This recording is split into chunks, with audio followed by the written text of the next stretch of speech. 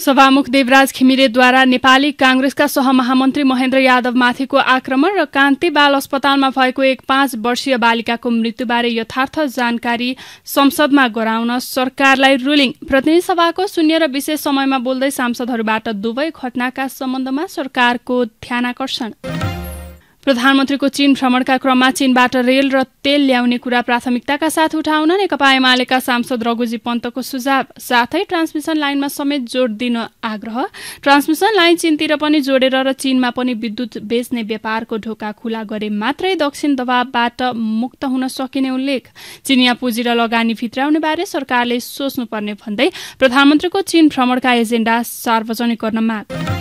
नेपाली काङ्ग्रेसका महामन्त्री गगन थापाद्वारा सहमहामन्त्री महेन्द्र यादवमाथि बुधबार भएको सांघातिक आक्रमणको भर्त्सना खुकुरी प्रहार गर्ने व्यक्ति सन्काहा भन्दै घटनालाई थामथुम पार्ने प्रयास भएको थापाको आरोप।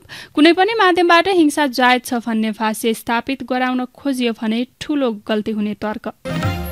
पार्टीका सहमहामन्त्री महेन्द्र यादवमाथि बुधबार भएको आक्रमणको भत्सना गर्दै नेपाली काङ्ग्रेस खुकुरी प्रहारबाट नमर्ने र नसकिने नेपाली काङ्ग्रेसका नेता रमेश लेखकको भनाई।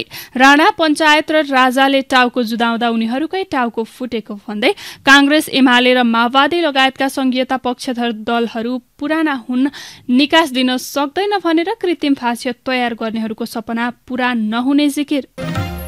नेपाली काङ्ग्रेसका सहमहामन्त्री महेन्द्र यादवमाथि आक्रमण गर्ने व्यक्ति राप्रपामा संलग्न नभएको राप्रपाका नेता धवल शमशेर राणाको भनाई। रिपोर्टर्स क्लबको कार्यक्रममा सहभागी भएर फर्कने क्रममा यादवमाथि आक्रमण भएको आफ्नै आँखाले देखेको भन्दै सो व्यक्तिलाई हदैसम्मको कार्यवाही हुनुपर्ने उल्लेख। नेपालले भारतमा निर्यात गरिरहेको विद्युतबाट खाटा बेहोरी रहेको चिनिया राजदूत सोङको अभिव्यक्तिप्रति सांसदहरूद्वारा असन्तुष्टि व्यक्त।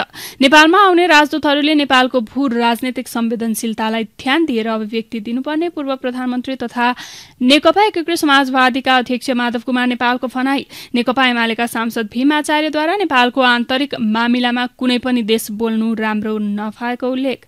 नेपालको आन्तरिक मामिलामा तेस्रो पक्षले टिप्पणी गर्ने परम्परा बस्न दिन नहुने नेकपा माओवादी केन्द्रका सांसद वर्षमान पुनको जिकिर। नेपाल भारत सम्बन्धमा चीनले बोल्न जरुरी नभएको आम जनता पार्टीका अध्यक्ष प्रभु शाहको भनाई।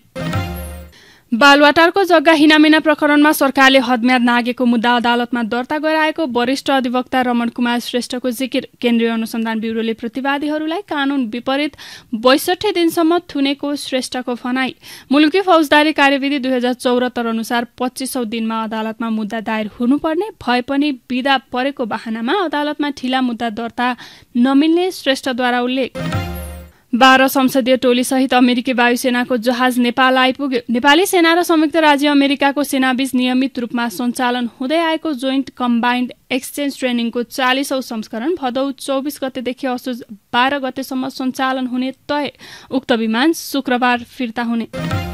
श्रम रोजगार तथा सामाजिक सुरक्षा मन्त्रालयका प्रवक्ताको हस्ताक्षर गरेर नक्कली विज्ञप्ति जारी। यो विषयमा विज्ञप्ति जारी गर्दै त्यस्तोको पछि नलाग्न मन्त्रालयद्वारा सबैमा अनुरोध।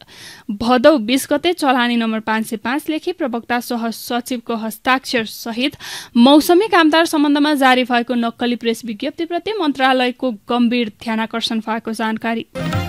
राष्ट्र ब्याङ्कले शेयर बजारमा लगाएको बाह्र करोडको नीतिले परेको प्रभावको विषयमा आवश्यक सम्वाद भइरहेको अर्थमन्त्री डाक्टर प्रकाश शरण महतको भनाई।